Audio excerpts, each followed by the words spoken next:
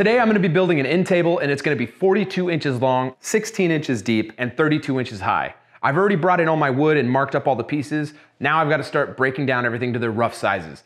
Let's go.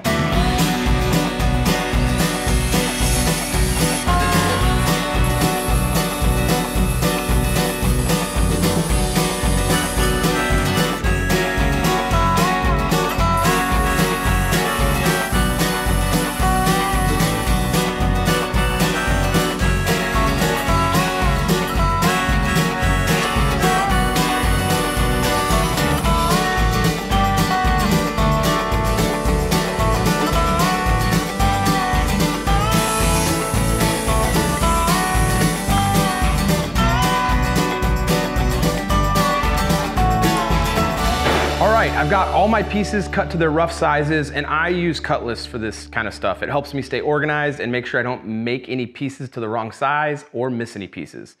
And you probably noticed that I put these pieces of wood in a nice pile. This is called stacking and stickering. This is the best practice to do after you're done milling your wood. Letting this wood rest properly ensures that when you're done with your piece, you're gonna have a really great product. And speaking of great products, I wanted to give a big shout out to Nick's for supporting this video. I'm really excited to work with them. I'm in the shop six to seven days a week and I'm in my boots the same amount of time. These are legitimately the nicest boots I've ever owned in my life. They are durable and they just feel and look like high quality, which I'm super stoked about because that's the kind of stuff I want in my life. If you wanted to check out Nick's Handmade Boots, go check the link in the description. There's a link to all their great offerings. They have some really great boots. And if you're really interested in these boots specifically, these are the 64 mahoganies. With all of our pieces properly rested, I'm gonna take my two pieces for my top and I'm gonna cut them down to the correct width. Then I'm gonna get them in clamps, and while these are waiting in clamps, I'm gonna cut the rest of my pieces down to their final sizes.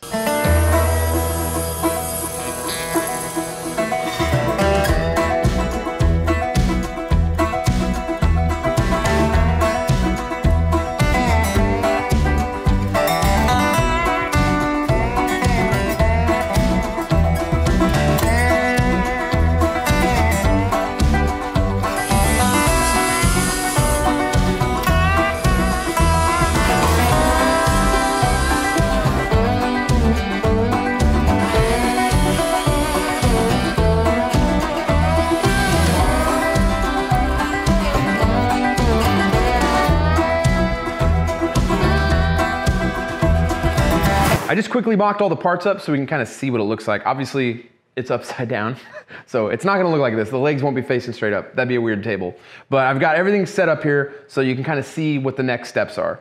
The next step is to get the side assemblies together and everything's gonna be done in sub-assemblies. So we're gonna taper the legs and attach these stretchers to the legs. We're gonna do that for both sides. Then we're gonna do the face frame and get all that connected together. And then we're gonna connect the rest of it, which is basically the structure. These partitions will hold up the, uh, the slides for the drawers and it'll connect the front and back in a more sturdy way. Now I'm gonna cut my tapers on my legs on the table saw. And I'm gonna use this jig I made. This is, I've got a video on this jig if you wanna see it, but it's very simple. It's just a piece of MDF with these dovetail channels cut into it, and I use these dovetail clamps. Microjig makes these. I've set up stops on this that I'm holding in place with these clamps here, and these won't be taken off during the process. These are the only clamps that will be undone. I'll undo these, flip the piece, so I can get my two tapers on my two sides on each leg.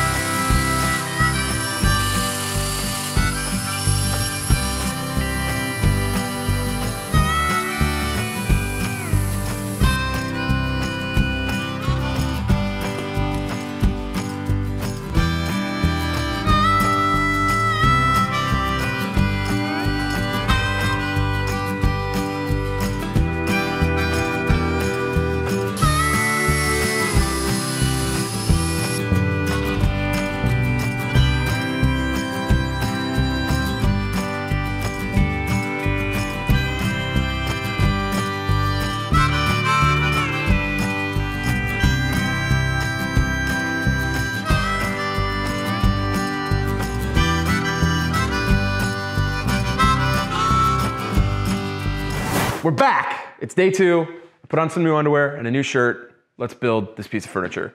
So I've taken everything out of clamps. The next step is to clean up the glue squeeze out that I've got to clean out. The top, these pieces here. And then I'm gonna glue together this next subassembly, which is getting these partitions uh, joined and glued in. And then I'm gonna join and glue the face frame and the back apron to the legs. So that's the next step. And then after that, we're gonna start working on the drawer front and the pull, which is gonna be really cool. I'm really excited for you guys to see that. So check it out.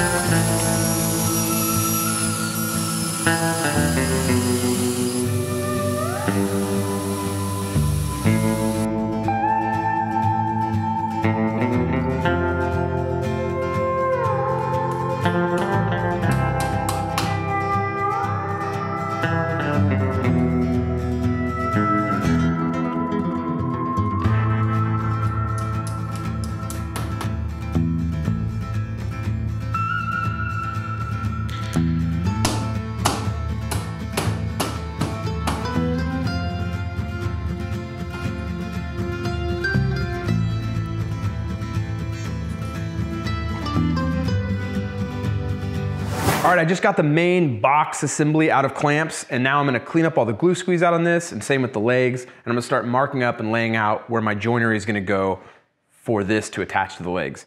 This is gonna be inset, the face is gonna be inset a quarter of an inch from the edge of these legs. So it's a little bit of simple math. Get that figured out really quick and get this attached. After that, we're gonna start working on the top, which is out of clamps and ready to go. I just need to clean up the glue squeeze out and run it through the drum sander.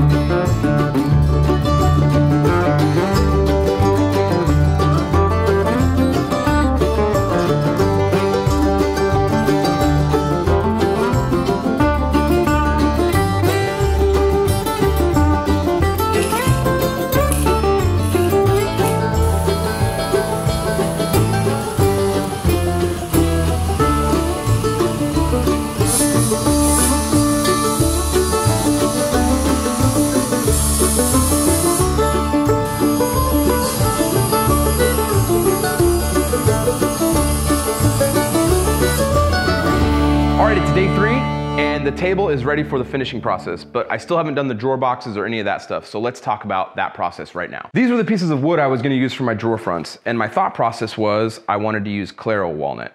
The rest of the table is black walnut, which I love, but I also really love Claro walnut and I wanted to include it in this build because I love it so much. I wanted the contrast of this more red wood against the more black wood. I thought it would look really nice. But as I started getting into the design process, I realized that this was gonna create a distraction that I didn't want. And I wanted the focal point of the piece to be these pulls that I really like on this piece. And then between day two and three, I had an epiphany because I've been working with a lot of brass. I wanted to include brass in this build. So what I mocked up, so I could show you, is this. And I think this is gonna be awesome. What I did was I put a pocket that fits this piece in, and I also put a piece of brass plate behind it, and this will go over it and get all glued in, and that's gonna be what our drawer fronts look like. I think that looks sick. I'm super stoked on it. So what I also did was took two new pieces of black walnut that were grain matched. They just follow down the same board so that this is less distracting. With these two pieces almost looking like one piece of wood going down the grain, all the attention will be focused on this drawer pull.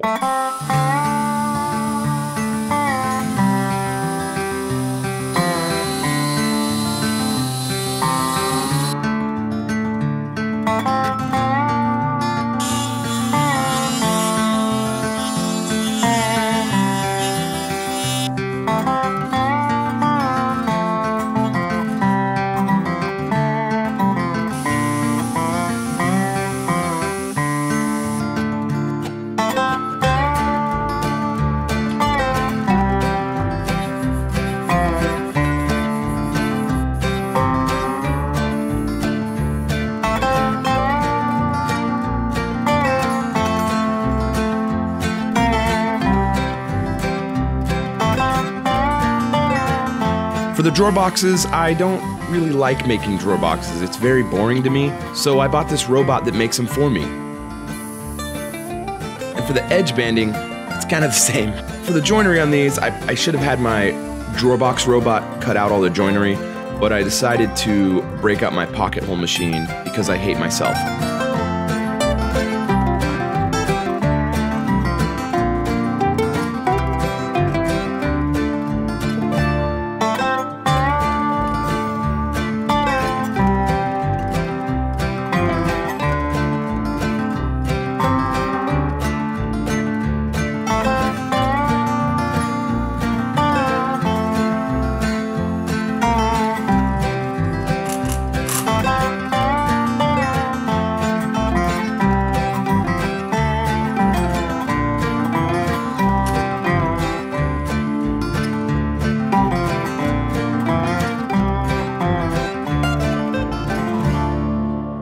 The drawer boxes are all in, all that stuff's put together. I am, I mean, this is looking really great. Like, I'm really happy with this. I spent a lot of time on the reveal around the drawer fronts to make sure everything was dialed and nice and clean. And honestly, I'm just really excited about this piece. The next step is to get the top attached and to get all the finish on.